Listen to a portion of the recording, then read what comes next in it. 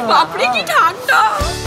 শীতের দুপুরে গরম হতে রোদ পোয়ানোর আর দরকার নেই।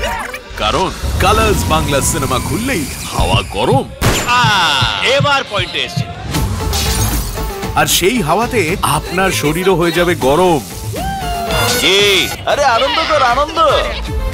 প্রতিদিন দুপুর একটায় দমদার দুপুরে উড়ছে ফিল্মি ফুলকি। একদম টাটকা। কালার্স বাংলা সিনেমায়।